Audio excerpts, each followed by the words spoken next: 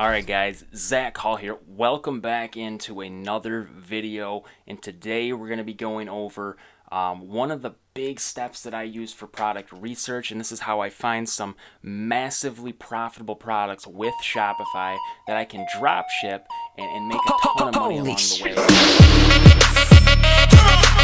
way.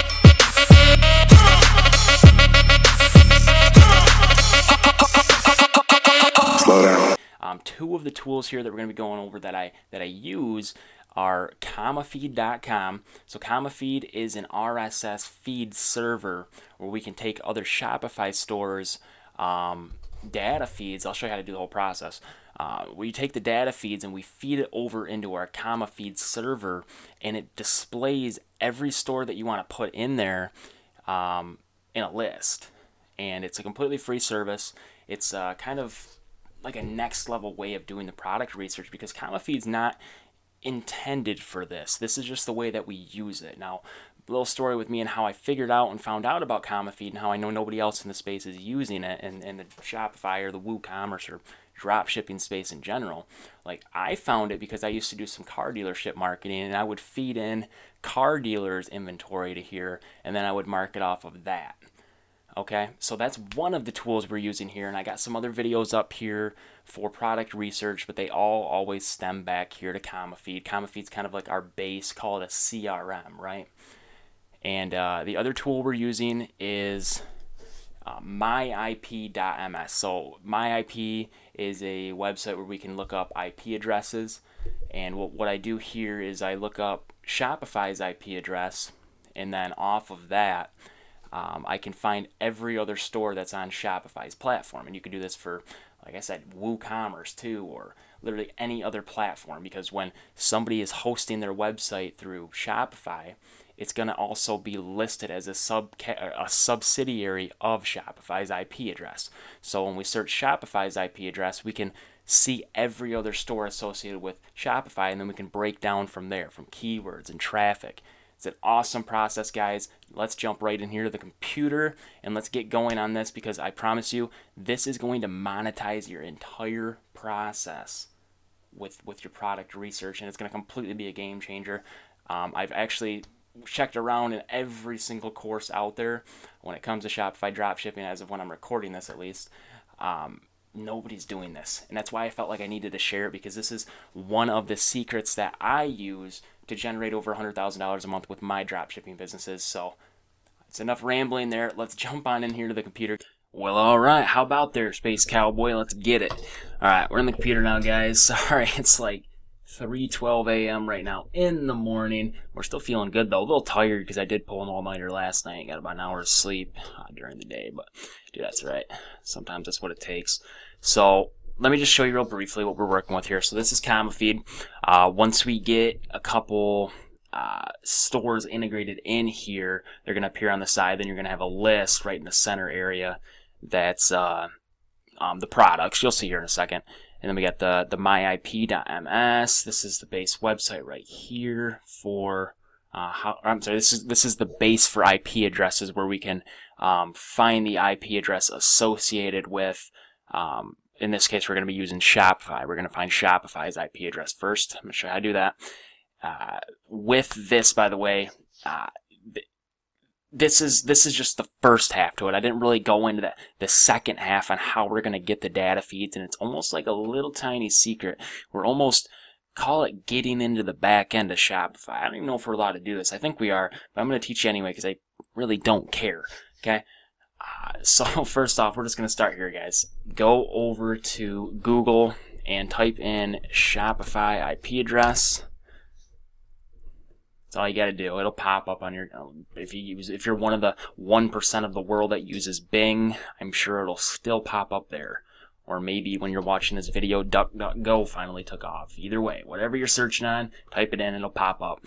Take that IP address right there, which is uh, IP address is going to be it's going to be a code that it's this code right this is the exact ip address for shopify you know if you're watching this video and you're trying to integrate this for woocommerce or any other website you know just literally type in like the ip address of the, the brand or the business you're trying to find it'll pop up so we got Shop, shopify's ip address here Okay, take that. And we'll come back over here to uh, the My IP. And, and there's two ways to do it. One, you can do it, you can just do it this way. This isn't the exact way I do it, but I'm going to show you both ways um, just so you can get a little more familiar with the platform. So you put it in here, you type it, or, or you paste it in, you search it, it pops up all the details and everything here. Not super important to you. Okay, then you can come on down to, yeah, so I mean right now they got 145,624 live websites um, that are attached to the actual IP address that Shopify uses. Uh, you can you can come down here, yeah, and you can find uh, websites. I mean, you can break it down by the the world site popularity ranking. Uh, it's a bunch of different options here. Uh, not super important, not super important. Uh, you know, you can see the top dogs, like the people who are the number ones on their platform. Okay. But the way that we're going to want to use it here, I just figured I'd show you that so you could see how it's working, like part of the way there. And then you can you can also go down, you can break it down, and you can you can like I said, you can see the list and you can search that way. This is the way right here. I'm going to show you that I prefer to search on this platform. Uh, so we're going to go over here, hover over websites, world website database. So it says 10 million plus. Actually, looks like 12 million. Okay, so right here, you're going to get into a screen that looks a lot like this. I don't know if they've updated it by now in your time, but in my time here, this is what it looks like. So you come here, uh, right over here where it says IP owner, parent, IP owner hosting, uh, click on this box.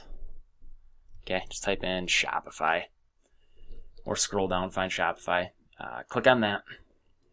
Um, or if you again, are, I'm trying to keep this broad for whoever's using it for whatever purpose. If you're using it for WooCommerce, then then that's part of why I showed you this process up here. Take the IP address, plug it in here, um, search it that way. So we're going to use Shopify in this example. I'm going to hit search first, and I'm going to show you um, how we can kind of break this down up here. Okay, so you can uh, you know organize it whatever by uh, the world site popularity there. That's a big one and you can kind of go through and they got the pages, the next, next, next, next, next. You can keep finding them if you want to be ambitious. Go through all 3,000. Uh, so it's showing you a list of the websites that are attached to Shopify's IP address, which is literally every business on Shopify. So what you can do from here is if we're trying to find successful products for um, our drop shipping store, we want to scrape from a store that is a successful store, right? Successful products come from successful stores, vice versa. So if we're going to start here, we're going to go with 1,000 site popularity. Um, we want to make sure they're at least getting 1,000 people per day. And this is just an example. I'm doing it on the fly, guys. I'm keeping this video one shot. So it's going to show you popularity between 1,000 to, I mean, it says infinity there, but you know, we'll just keep it. We don't we don't need to have all these other like high end stuff coming up that we're never gonna take from, so we'll just put it at just put it at 2,000. It's been a minute since I've did this process too, because I've already got my comma feed pretty well booked out. So once you, I mean, really, what's kind of cool about this is once you go through this process, it's not like you have to I mean, it's good to like keep fresh on it and like keep updating your comma feed as stores like like as people sell their stores or as if stuff changes, the market shifts. Like it's good to keep it updated, but it's not something you like have to do indefinitely. It's just something you set up once. Okay, so we'll go through here. Let's just find one store so I can show you how to do this. Uh, something that kind of looks like a yeah, what about this? Catslovelife.com. So you either click on it, copy it, type it in, whatever. Uh, take it up here, right into the tab, search it, catslovelife.com. What do they got here? So it's obviously, like I said, it's a Shopify store. So we already know that much. Yeah, it looks like they're just selling an array of stuff. And one of the one of the little tricks you can do to to on any Shopify store, if you want to see every single product they have on their website, so you go up to the URL at the top, you put a forward slash after their .com, and then you put collections forward slash all. So their website.com forward slash collections forward slash all. Hit enter and it'll pop up a, yeah, there we go. Pop up a list of all their products that are on there. So they have a very, very vast amount of stuff on there. Now, usually in a lot of cases, Uh, and again, this depends on your perspective, but the way I teach my students when I mentor people is uh, start your when you're when you're starting with drop shipping or you're, you're starting to grow your own personal brand thing or not personal brand business brand start general because you don't know what's going to sell until you know what sells so that's why you should start general and then you should let that dictate you going niche specific but again, it's your perspective. Like if, if, if you want to blow up a brand, you have a passion for the fact that you want to blow, blow up a business brand based around cats, then do it do it the, do it the niche specific way. Do it this way. So if we want to take this Cats Love Life store and we want to integrate it over to um, our comma feed, if we want to take this Okay, URL right up here at the top, catslovelife.com forward slash collections forward slash all. Okay, now this is how we structure the data feed. Very, very simple. Don't blink because you'll miss it. Okay, so after the all, put dot atom. Okay, so dot atom. That's how you structure your data feed for any Shopify store. Okay, now we'll come back over here to comma feed. I didn't go through the sign up process here. It's it's a completely free thing. It doesn't cost you a dime. Um, there's probably there are a million other RSS servers things that you can use out there. Like you don't have to use comma feed. There's it's just the easiest one that I know how to use. Uh, so you come back over here to comma feed. Super simple sign up. You click the subscribe button up in the top left. So we'll click on that. We'll take this URL right here. I'm sorry, right here. Okay, copy that. So website.com forward slash collections forward slash all dot atom. Copy that right over to comma feed. Put it as your feed URL right there. Okay. And your feed name is going to be, well, it already populates in there. So I usually just name it the um, the website's name, and then you can categorize it if you want. You'd have to create a category first, but um, this is just an example. So once that's on, click Save. Okay, now let me show you how this goes. Okay, so we're sitting here. We have uh, any every product that they put on that website is now going to automatically pop up in here. So right now, today is July, Friday, July the 12th of 2009. It doesn't show that they're putting anything on re regularly, right? It's probably a one-man operation, one-woman operation. They haven't put anything on the past four days. So they're not a consistent store. So what you can do is you just keep going through. You keep finding more stores. You put them in here to test. Um, you check out the products, see if they fit your description, your general rule of thumb, right? So if I'm running a general store, I generally want to see stuff in the range of $30 to $80 because that's the sweet spot usually for most sales when it comes to most things in sales because um, you know it's that range where people don't have to ask their friends like if should I buy this? Like they don't have to double think on it. Like they don't ask should I should I buy this or is it going to be a stupid investment? Like they'll make an impulse sale on it is what I'm getting at. Uh, the way I run my stores also is a little bit different than most people. I run them so I can scale up and sell off the information. So it's not like I'm looking to grow long-term brands. Um, or if I'm looking to make a ton of money, then I just sell super high ticket items. But I just have a different approach. So you just would keep finding more and more websites, keep plugging them in, and as you plug them in, multiple, they're just going to compile up down here. So let's say you get a good list of products, I'm sorry, a good list of stores going here that you um, like that fit your criteria on what you're selling or what you want to like scrape from, then you just go through the list, guys. And this is where uh, in my other videos I'm going to go deeper into the product research from this point um, because I don't want to like keep this video two hours long because you're not going to watch the whole thing. Let's be honest. Uh, but once you get to this point, guys, you can go through. You can click on the listings that pops it up, right? You can copy everything there if you want to tell you the price, um, tell you a little bit of information about it, the picture. You can go right to the link for that product. It's just awesome the way it works. And, and this comma feed is so much bigger than just Shopify. Like you can literally do this for any like anything that has an inventory feed on the website. So I used to use it for car dealerships all the time.